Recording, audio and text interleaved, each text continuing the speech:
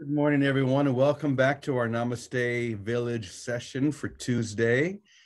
I'm very excited to be here today, as I always am, of course. Always excited to join with all of my mighty companions and to just open up this experience to share and to feel, to, to know, to really dive into. And that's what we're going to do today.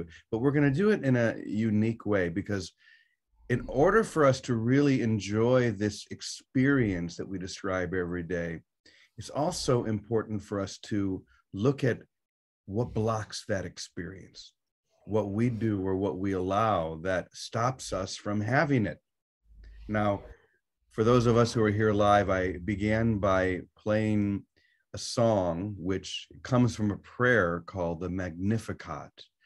And this is a prayer that is attributed to Mary, the mother of Jesus, when she says, My soul proclaims the greatness of the Lord. And there's also a line in there where she says, God has lifted up the lowly. Lifted up the lowly. And this is going to point us in the right direction for this session today because what we're going to be talking about here is humility, which is one of the most important ingredients to the awakening, to relax into the not knowing, so that we may realize that we are known by God, so that we can know and to experience that knowing within us that is the divine. In fact, I was having a conversation with Johannes about this yesterday, and I'm really excited to bring her into it as well as Vicky and Teddy. But basically, what, what this comes down to is if you want to completely stranglehold the experience that we describe here every day, which we really cannot totally describe because it is an experience. It's it's something that we just know something that erupts within us, awakens within us. And so words and concepts can't really go with it. But when you're in it, you know you're in it. And the thing that strangleholds that experience is thinking you are right about anything. Yes. Thinking that you're right about this, or that you know what needs to happen for COVID, or you know what should happen to that person. You're right about this. This is the greatest stranglehold on the experience of awakening. And yet, the experience of not knowing, of surrendering, as Mary does in that beautiful prayer My soul proclaims the greatness of the Lord, my spirit rejoices in God, my Savior. For the Lord has looked with mercy on his lowly servant. From this day, all generations will call me blessed. So, this is what we're going to be looking at today the importance of humility. And I want to begin by sharing a little something that I, I, I always hesitate to say that I wrote because it, it feels more like it's being written through me than by me. But I do want to share what I wrote yesterday after my conversation with Johannes. So let me read this very slowly and we'll use this as our jumping off point. If you want to understand, be content with not knowing. Be content with not knowing. This is the essence of my teaching. If you want to live in ignorance, claim to know. Only the ego claims to know anything. Your soul realizes that by being content with not knowing. It is known by God. Let me read that last line again. It's so important. Your soul realizes that by being content with not knowing, it is known by God.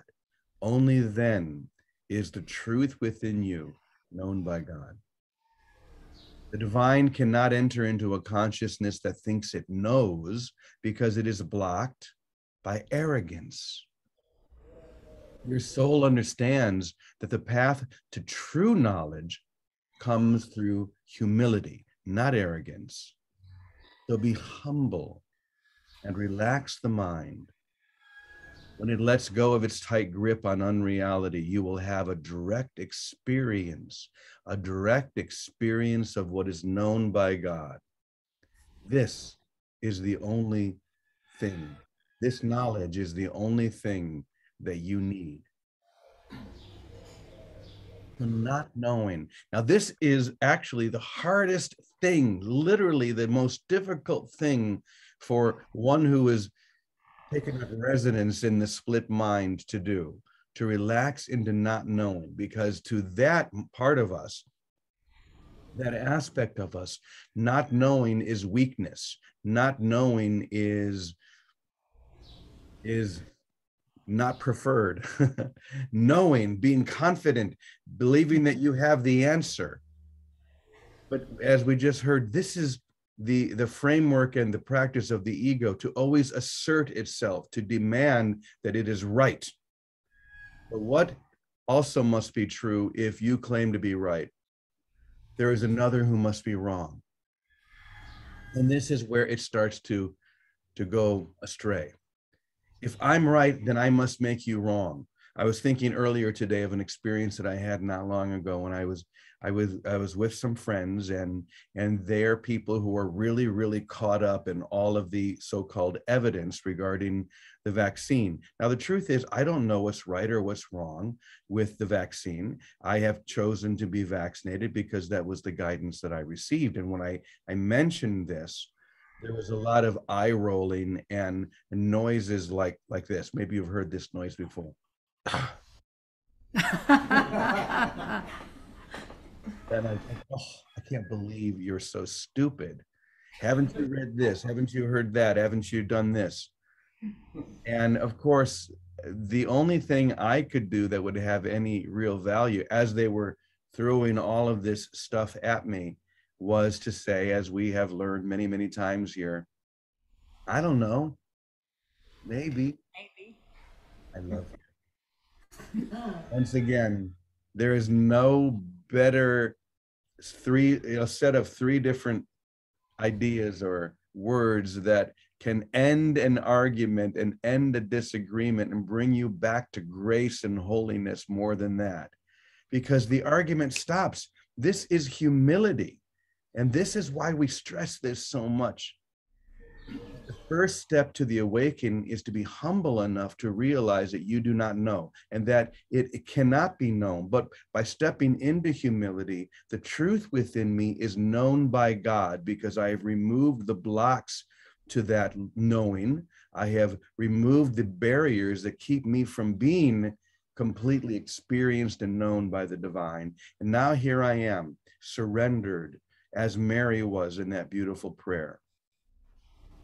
So this is our jumping off point. And I'm going to turn it over to Johannes now because I want to get as many perspectives on this subject as we possibly can because it's so important. I want you to really hear it. And sometimes maybe you'll hear it from me. Maybe you'll hear it from Vicky on another day or Teddy or Johannes or anyone else that's speaking. But hear this message because this is the key. So Johannes, I'm going to turn it over to you for a few minutes, and I, I would just love to hear your perspective because this really came from a conversation that you and I were having yesterday. Right. Yes. Thanks, James. Well, what triggered our conversation was mm-hmm. that actually Jack and I were reading something beautiful from one of the books of Goldsmith he was explaining about this oneness with God, the realization of God's presence. And I told my husband, I said, Oh God, I am aspiring to live in that consciousness. I recognize that I don't, I'm not there yet, but I'm doing my best. Prayers, forgiveness, all these Uh, beautiful things that we have at hand to be able to live in that consciousness of oneness. So I, I called you, James, and I say, James, but you know, we are aspiring to be in that consciousness. The Course in Miracles says, You are not a body, I'm not a body. Okay, but I believe I still believe that I live in this body. I mean, I'm not a body. Okay, I'm not going to take a shower for one week to see what happened. You see, because I'm not a body. I'm sorry that I'm so, I'm not a body. Or this world is an, il- an illusion. Jesus Christ. Yes, this world is an illusion. Uh-huh. Just step in front of a bus or something like that to see if this is. So we are aspiring to express that. I share from my own experience since I'm, um, I am a child. I felt that presence. I felt there was something beyond this world. And that was the the driving force or driving driving force for me. It was like an invitation to know more. But I'm not there yet. Yes, I I believe I am a body and I take a shower every day and I eat every day and I brush my teeth every day. This world is an illusion. Yes, I know this world is an illusion, but still, I do the things that are required for this world. I was talking to, to Jack this morning. When I went to engineering school, okay, this is a program of five years. Sometimes some people take six years, seven years, because it's, I mean, it's, it's really hard. But the first semester, my classmates and I were so proud and so arrogant into this oh we are in ministerial school engineering school, and we carry our all our instruments our tea like showing the whole world that we are studying to to be engineers we were in the first semester. We, we were starting to learn the concepts, the mathematical formulas. Then we had to go through application. Then we have to, so it was, it took, I did it in like four and a half years. Some people did it in seven years. So to be in the engineering school doesn't mean I am an engineer already. I am on my way to become an engineer. And I, I feel that this is the same thing with the spiritual path. We have chosen spiritual path. We are learning to to we are learning to again it's like unlearning like the course in miracles all the concepts that we have learned in this human experience and we are remembering awakening we are uh, learning to be who we are to who we truly really are in the mind of God. But I know that I am not there. And on my personal personal life, I pray every day. I do process process of forgiveness or writing uh, the applications of the spiritual uh, things I learn.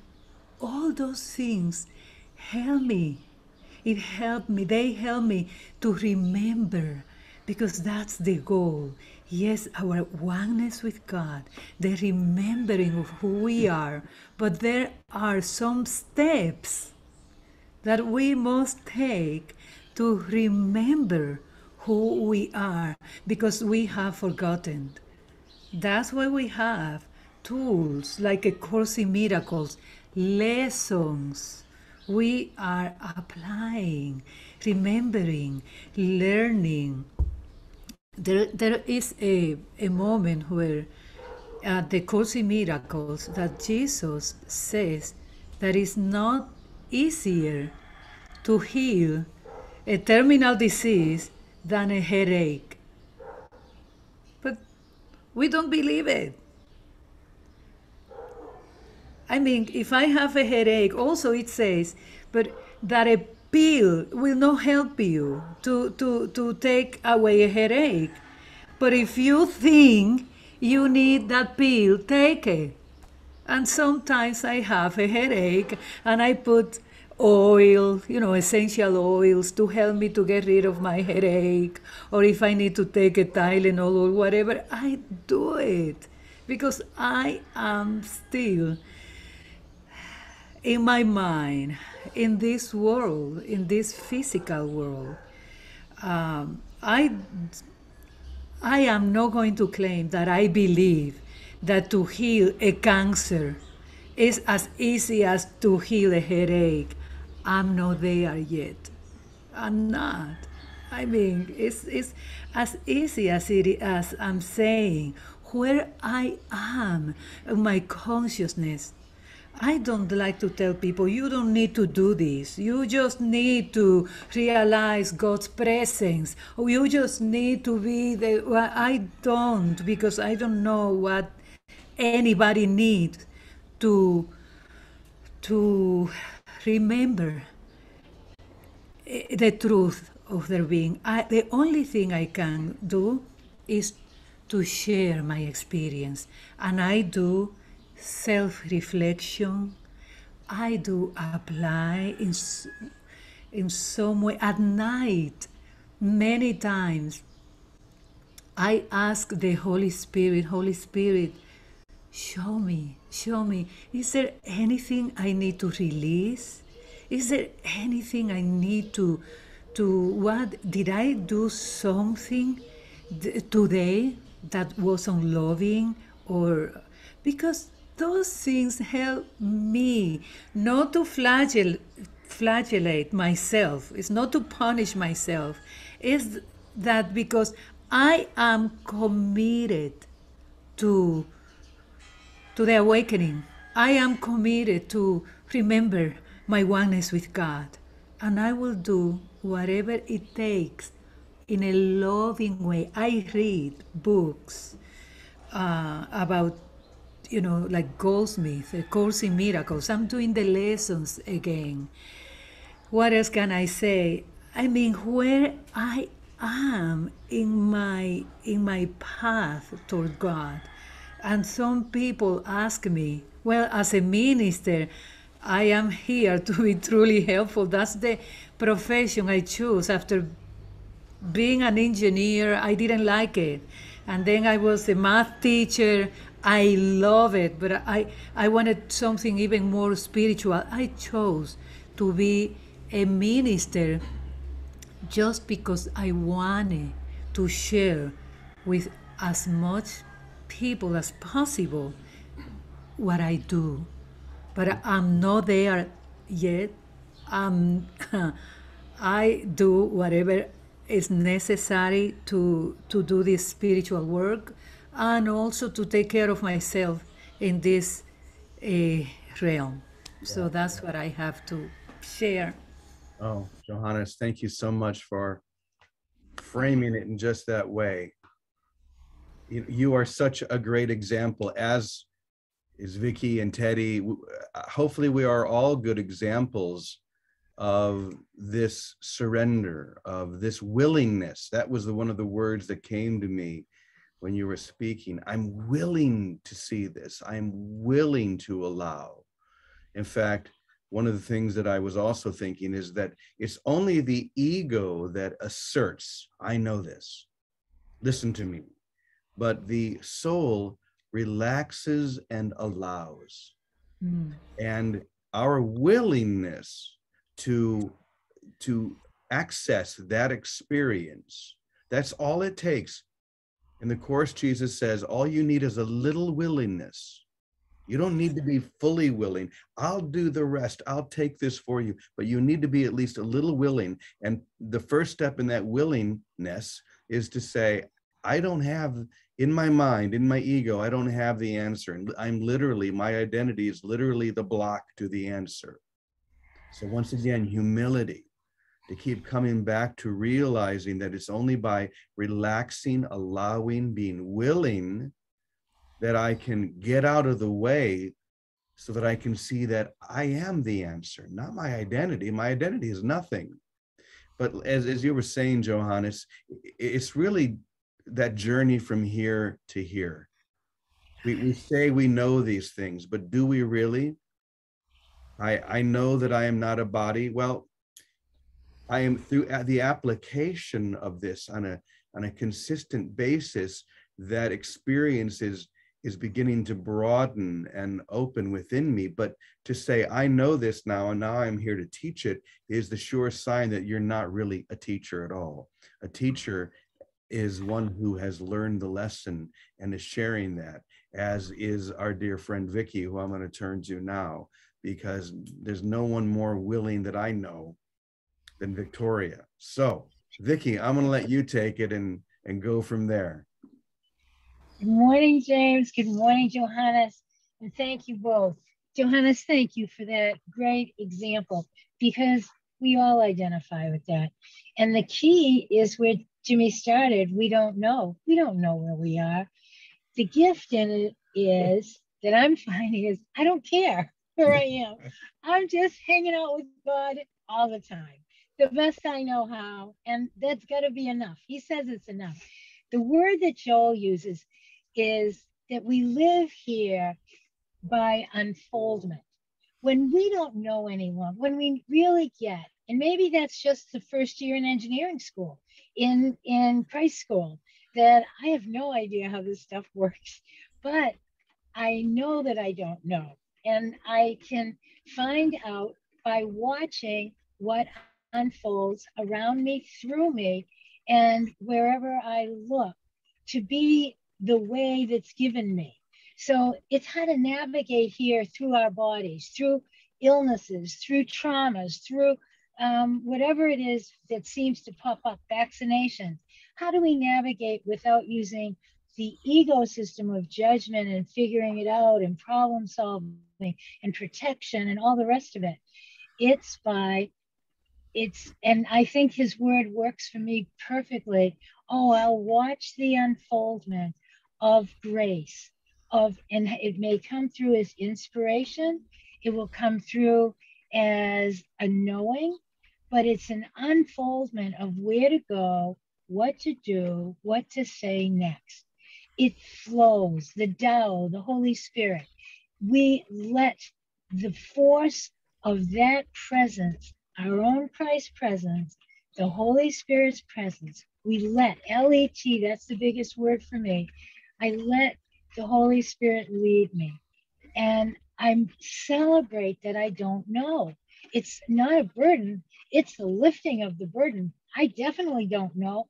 And it's a real reason to rejoice and be glad because then I'm not I'm not responsible anymore for what seems to be my mistakes that I judged. I'm only responsible to keep turning within and keep that connection open. Just like you said, Johannes, every day, oh dear God, please help me. What did I mess up today? Where was I in the way today? And stay connected inside to that spirit, that inspiration, that that um, center, and then let it tell us, let it show us every day, all day, where to go. I was on my way to Walmart this morning and I pull in and the guy says, Oh no, Walmart's closed today because of some electrical problem. Oh, I said, Okay. Oh no, that's what am I going to do? I needed to do this and that. Oh, I must not. I must not need to do this and that. Mm-hmm. And then before I knew it, this thought popped into my head go to job lot. I never go to job lot. It's down the street. I don't know why I don't go. It's just I didn't think of it. Job lot has everything a lot easier, cheaper, and in a smaller store I can get to it quicker. and I laughed at the Holy Spirit. I said, wow, that's really fun. Thank you. Thank you for making it easy. I didn't have to go 5,000 feet to get a roll of tinfoil. Thank you. Thank you. but that's what it is with everything. You know, and this, I live, Teddy and I do, especially now, because literally we're facing a what might seem to be a huge health crisis. But it, nothing is a crisis in the Holy Spirit's hands. Nothing. Only our willingness to bring ourselves as we are, open. That's all humility is. I don't know. That's what humility is, just as you said, Jimmy. I don't know how to do any of this stuff, but thank you, God, that you do. How? How do you want to use me? How can I be truly helpful? Show me where to forgive. What's in the way? Where am I holding some something against myself or my brother and I don't even know it yet? And whether it's a hangnail or a headache to cancer, the answer is by the grace of the Holy Spirit and my willingness to know I don't know and relax because unfoldment has a tough time getting through tension. So why be tense about it? That's why I'll relax, be playful, and enjoy that we have a heavenly presence, a force, whatever name we give it, that cares for us, provides for us, directs us through everything. If you make your bed in hell, so what? I'll go there with you. It doesn't matter. The Spirit of the Lord is upon us at any instant, not just when we've prayed and done novenas and and read a thousand books. At any instant, we go from, from sinner to saint by just the turning within and saying, Drop it all, dear God, help me. I don't know anymore. I really know I don't know. Show me your way. That's it. Mm. I will be done. Thank you. Thank you, Vicky. Yeah, you know, uh, you reminded me of something we we talked about quite a long time ago, which is to follow the Holy Spirit's tickle. when you feel the guidance from the Holy Spirit, it's like this inner tickle. In, it's like an, an, effervescence that rises within you. That's how you know it, it inspires joy, it inspires lightness. I also like how you said that inspiration recoils from tension. It has a hard time moving through tension. So just relax, enjoy the, the idea of I need to be right about this is what tension is. That's that is the very thing that is blocking the experience. I'm right about this and you're wrong. I've done the research. I'm not falling into these conspiracy theories. I know. Well, guess what? You just blocked it. But if you can just relax and say, on my own, I can do nothing. On my own, I know nothing.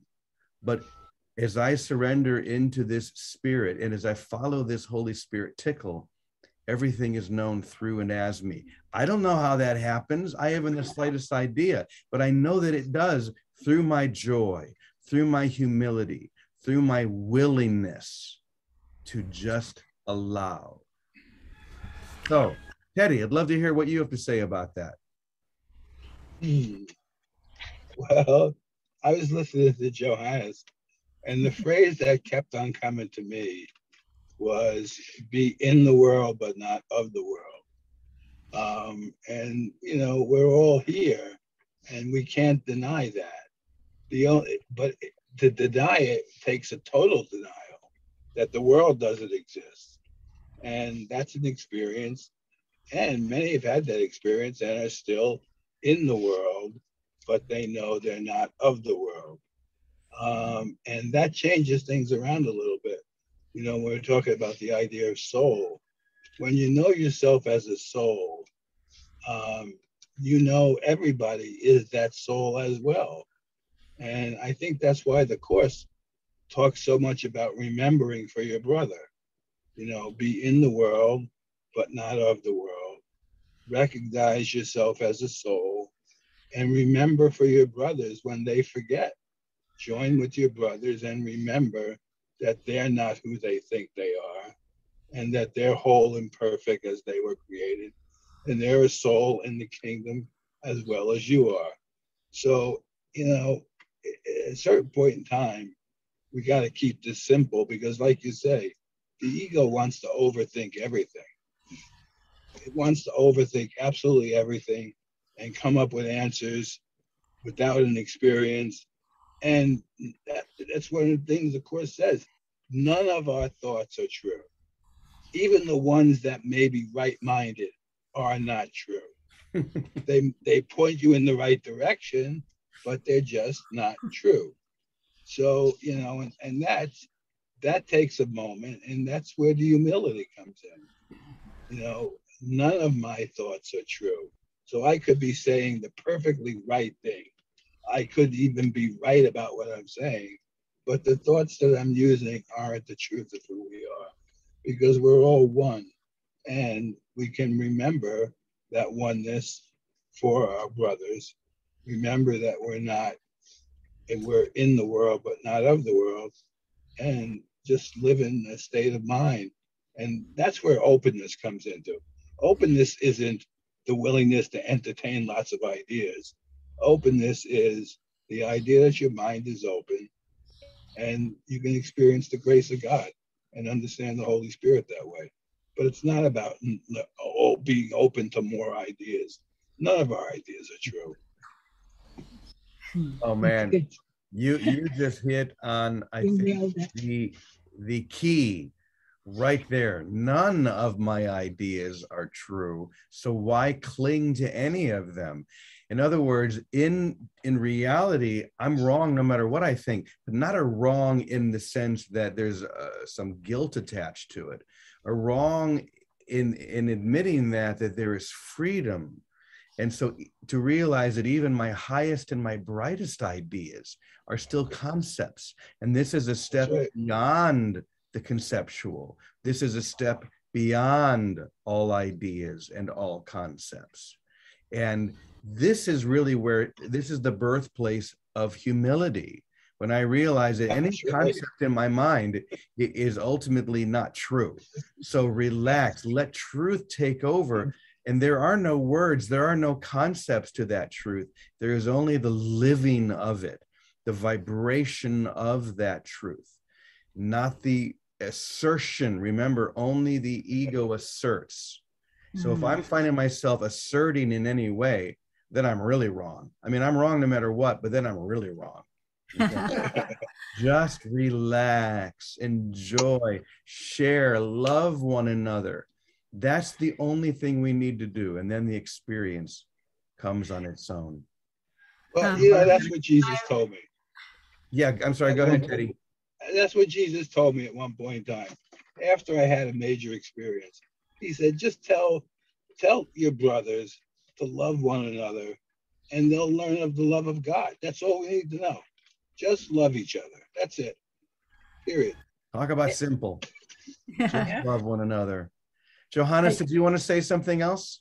Yeah, I wanted to read something from the Infinite Way letter from Goldsmith because it, it says, We may seek the consciousness of truth we may ask for a realization of God as individual being.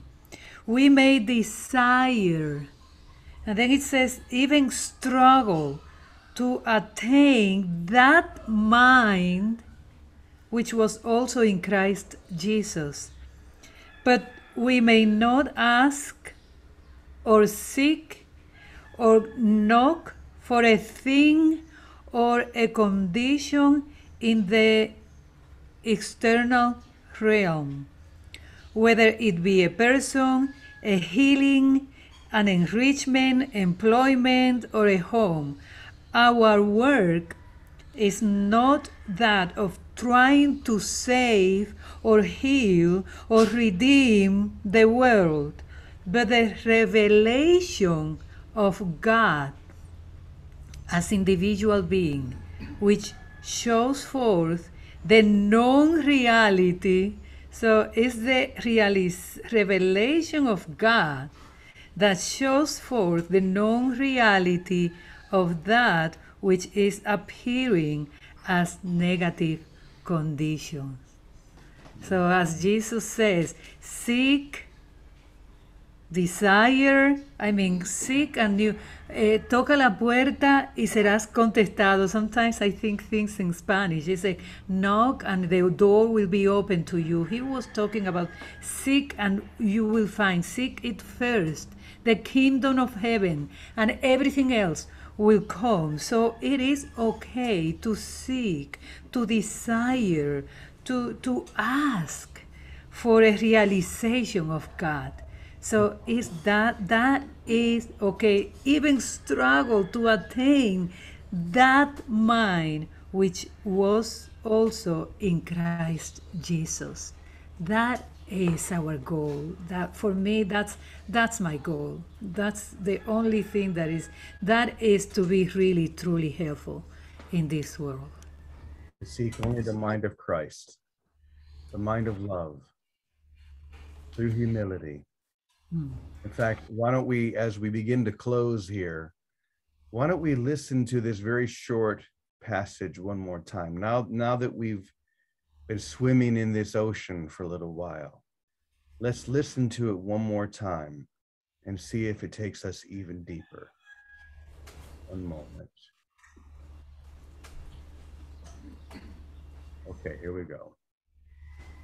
Drink this in. If you want to understand, be content with not knowing. This is the essence of my teaching. If you want to live in ignorance, claim to know. Only the ego claims to know anything.